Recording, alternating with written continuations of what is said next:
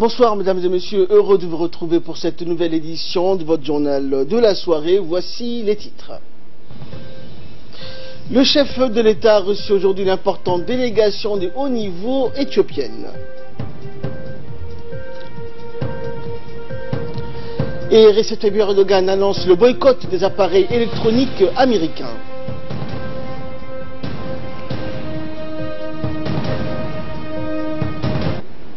Merci à vous de nous rejoindre. Le président de la République, Ismaël Omar a reçu ce matin la présidence une délégation éthiopienne de haut niveau conduite par le ministre des Affaires étrangères de la République fédérale et démocratique d'Éthiopie, Wolkene Gebeyehu. La délégation éthiopienne a remis au président un message du Premier ministre éthiopien Abiy Ahmed qui affirme l'excellence des relations entre les deux pays frères depuis euh, toujours et qui sera renforcée davantage à l'avenir.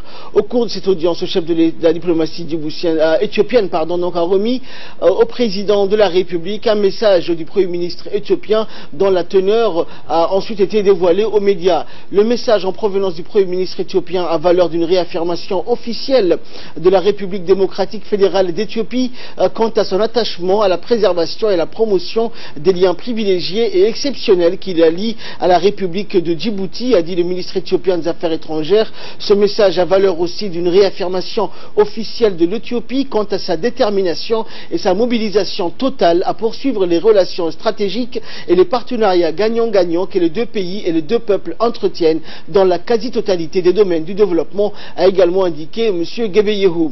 Durant la rencontre, l'excellence des relations euh, d'intégration, qui est un exemple, a été donc évoquée et a été largement soulignée par les deux parties. Djibouti n'a pas perdu la confiance de l'Éthiopie. La solidité des liens entre les deux pays n'est plus à remettre en cause malgré les incidents isolés. Cette confiance entre Djibouti et l'Éthiopie ont été donc euh, affirmés lors de la réunion entre le président et la délégation éthiopienne conduite par le ministre des Affaires étrangères éthiopien, le ministre des Affaires étrangères euh, djiboutien Mahmoud Ali Youssouf, l'ambassadeur de euh, Djibouti auprès de la République fédérale d'Éthiopie, Mohamed Idriss Farah, et la conseillère du président, Fatia Diamar, ont pris part à cette rencontre. Le ministre des Affaires étrangères éthiopien a souligné lors d'une interview euh, qu'il nous a euh, accordé qu'il est à Djibouti, donc dans son second euh, pays, et à la sortie donc de la réunion avec le président, les, malheureux donc, événements qui ont récemment eu lieu à Deridawa sont l'œuvre d'un groupe restreint d'individus qui sont loin de refléter les sentiments de fraternité, de proximité et de solidarité qu'éprouve très majoritairement chacun de nos deux peuples vis-à-vis de l'autre, a par ailleurs déclaré le ministre Gebeyehu. Je suis là aujourd'hui pour apporter la preuve que ces incidents isolés ne sont pas de nature à remettre en cause le caractère privilégié de nos relations bilatérales et l'engagement commun de nos deux pays à poursuivre les efforts dédiés à l'intégration économique de nos deux nations, a-t-il poursuivi le ministre euh, des euh, Affaires étrangères euh, djiboutien Mahmoud Ali Youssouf qui a pris part donc à cette rencontre s'est quant à lui réjoui donc du déplacement à Djibouti de la délégation éthiopienne de haut niveau conduite par M. Gebeyehu. Cette visite donc a-t-il indiqué vient un point nommé dans la mesure où elle a valeur de démenti cinglant aux informations erronées diffusées ça et là ces derniers temps et faisant état d'une dégradation et d'une dépréciation des relations entre Djibouti et l'Éthiopie, a affirmé Mahmoud Ali Youssouf. On l'écoute. Euh, euh, vous assurer que la présence de son Excellence, Monsieur le ministre euh, Werkene ministre des Affaires étrangères de la République démocratique fédérale d'Éthiopie, est une présence appréciée. C'est un ami de Djibouti qui n'hésite pas à faire les déplacements aussi souvent qu'il le peut afin de se concerter et avec les autorités djiboutienne sur les questions d'intérêt commun. Aujourd'hui, il est porteur d'un message euh, du Premier ministre euh, éthiopien, son Excellence M. Dr Abiy Ahmed Ali, au président de la République. Et ce message euh, comporte des volets concernant également la sécurité, bien entendu, et pour réaffirmer que l'excellence et la solidité des relations entre les deux pays ne peuvent pas être mises à l'épreuve en raison de ces incidents passagers. Le deuxième élément qui est important, il y a beaucoup de choses qui se passent dans notre région, et la concertation et la consultation entre Djibouti et l'Éthiopie euh, sont, euh, ce sont des, euh, je dirais, des traditions qui permettent aux deux pays de pouvoir gérer, régler un certain nombre de problèmes et surtout de se projeter sur l'avenir puisque Djibouti a besoin de l'Éthiopie euh, pour son économie et l'Éthiopie a besoin de Djibouti. Tout ce qui se dit dans les médias que euh, aujourd'hui Djibouti a perdu la confiance de l'Éthiopie et que l'Éthiopie va s'adresser à d'autres partenaires, tout cela, je le dis et je le répète, n'est que des informations. Et euh, je pense que sa présence aujourd'hui, le message qu'il portait de son Premier ministre, réaffirme la solidité de ces relations et réaffirme surtout que l'avenir entre les deux pays, la coopération future entre les deux pays, est au beau fixe. Elle continuera dans ce sens-là. Également dans l'actualité, la République de Djibouti, classée parmi les économies les plus performantes d'Afrique. Djibouti est auréolée à la quatrième place d'un classement des pays d'Afrique en matière de croissance économique. Cette information a été rendue publique dans le cadre du rapport 2018 de la Banque mondiale, prestigieuse institution des renommées planétaires dont une de ses missions est dévolue à l'élaboration d'un top 10 des économies les plus performantes du continent noir. Dans son rapport, la Banque mondiale évalue à 7% la croissance croissance économique de la République de Djibouti et procède à un inventaire non exhaustif euh, des raisons à l'origine de la bonne santé de notre économie. La réalisation d'une plus grande maîtrise des dépenses, notamment publiques, et le renforcement des investissements directs étrangers sont, d'après le rapport 2018 de la Banque mondiale, à l'origine des bonnes performances économiques de Djibouti. Le document insiste également sur le fait euh, que ce sont surtout les politiques récentes adoptées en vue euh, d'améliorer l'environnement des affaires qui ont substantiellement contribuer au renforcement de nos dispositions économiques.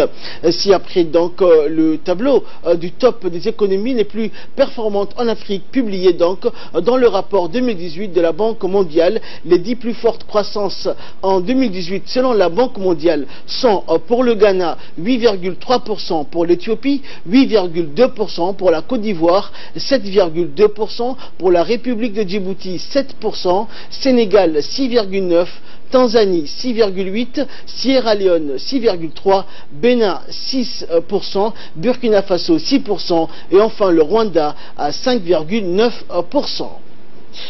Dans l'actualité euh, également, l'ancien Premier ministre de l'État, Mohamed Dileta, fait partie de la mission d'information de l'Organisation internationale de la francophonie qui a supervisé le dernier tour de l'élection présidentielle qui s'est déroulé au Mali.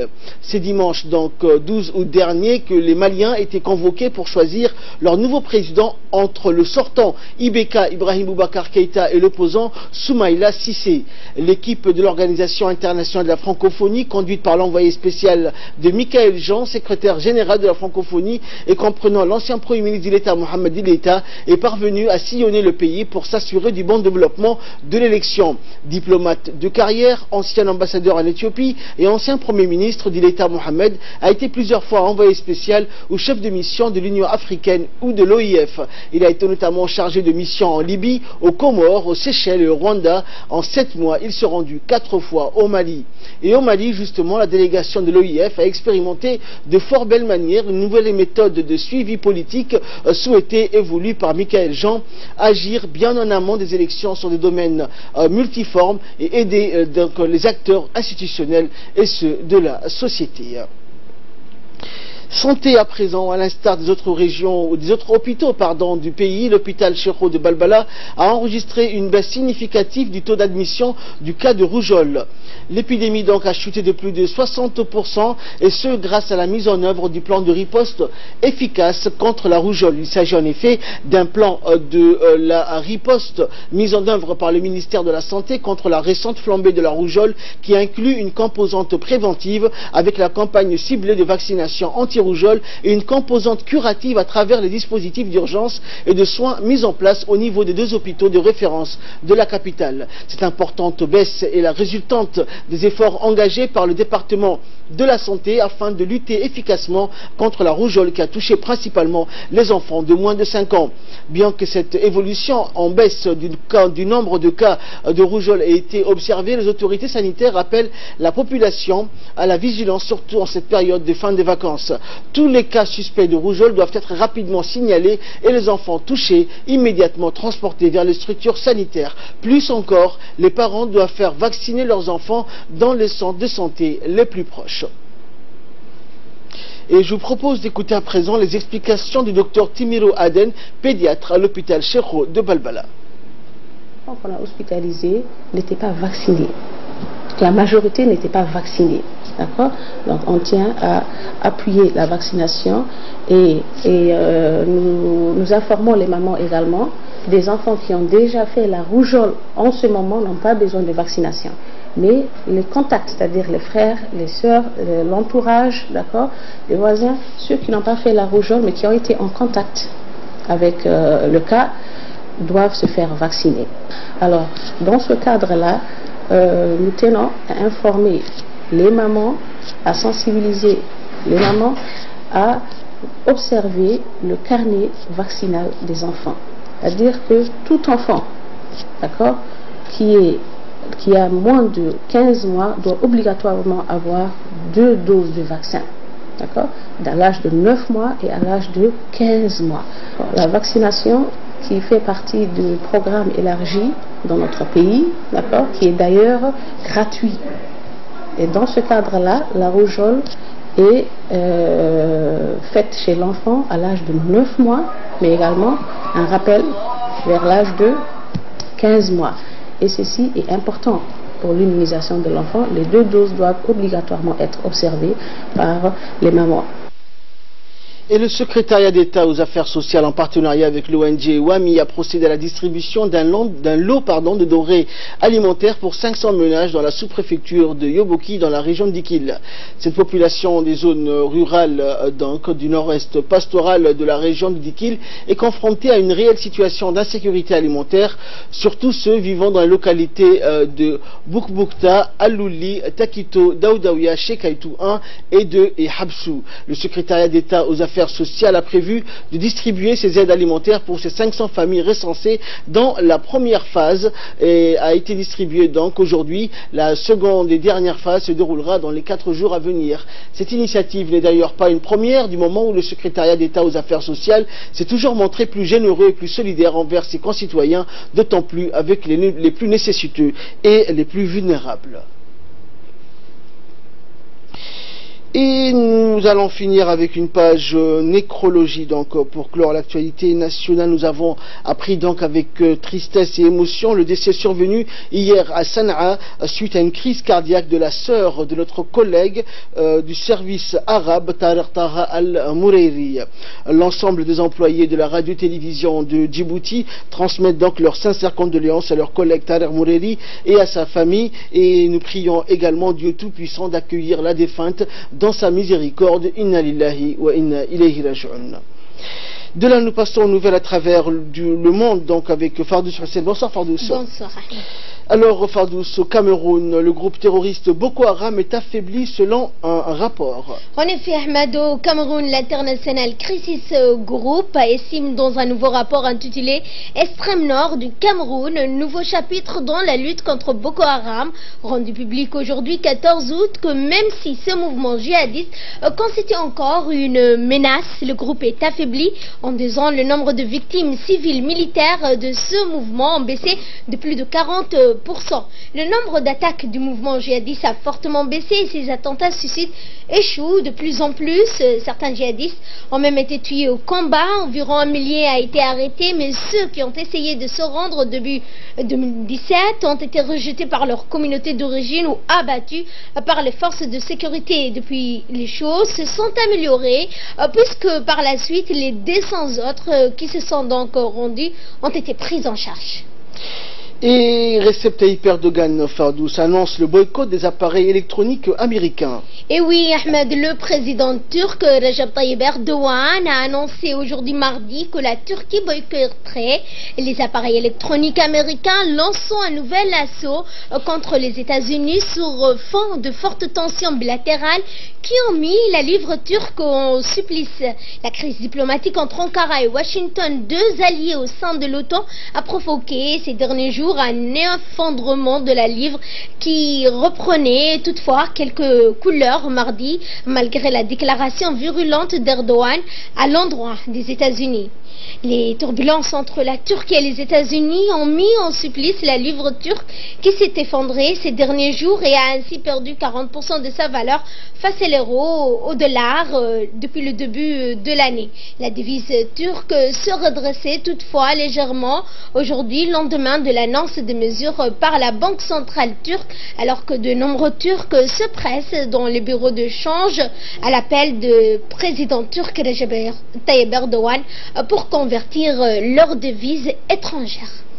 Et en Syrie, le musée bombardé d'Idleb rouvre ses portes. En effet, Ahmed, après cinq années de fermeture, euh, le musée d'Idleb a réouvert ses portes hier lundi en Syrie après l'explosion d'une petite partie de sa collection, l'institution n'ayant pas échappé à la guerre euh, qui ravage le pays. La revêture de ce musée dans une région toujours en guerre a été lancée euh, par une équipe locale d'académiciens et d'archéologues alors que L'institut était fermé depuis 2013. Aujourd'hui, donc euh, hier, euh, quelques dizaines de visiteurs ont déambulé parmi les vestiges qui ont pris en photo euh, avec leur portable dominé par le groupe djihadiste Hayat Tahrir et Sham. La province d'Idleb est riche en musées et sites archéologiques remontant à l'Antiquité, Ahmed. Et enfin, donc, en Afghanistan, Fardous, des talibans prennent d'assaut une base de l'armée. En effet, les talibans, Ahmed, ont attaqué une base de l'armée afghane située dans le nord du pays. Au moins 10 soldats ont été tués, plusieurs dizaines d'autres ont été capturés. Selon une source, un responsable provincial, une quarantaine de soldats ont été capturés. Une trentaine de combattants islamistes ont perdu la vie. Cette attaque coïncide avec les combats euh, qui se déroulent dans la province de Gaza euh, dans le sud-est de l'Afghanistan, des centaines de personnes ont été tuées ou blessées dans cette offensive qui a commencé la semaine dernière et conduit les forces américaines à apporter leur soutien aux soldats afghans. Merci Fardous pour toutes ces euh, précisions. Et nous allons finir avec cette information euh, qui dit que Vienne est la ville euh, la plus agréable à vivre au monde. Où fait-il bon vivre donc dans le monde? Comme chaque année, Economist a établi son classement. Deuxième donc l'an passé, la capitale autrichienne se classe donc en première position avec une note de 99 sur 100. 30 critères sont pris en compte. Les cinq plus importants étant donc la qualité euh, de vie, la stabilité, la culture et l'environnement, les infrastructures et l'éducation. Dernière donc de ce euh, classement, Damas, la capitale syrienne, avec une note globale de 30,7 sur 100, loin derrière Dhaka au Bangladesh et Lagos au Nigeria. Et en queue de euh, nous avons trois villes asiatiques et six villes africaines parmi les moins agréables de la planète. C'est ainsi donc que prend fin cette édition. Merci à vous de nous avoir suivis. Excellente soirée sur 对不起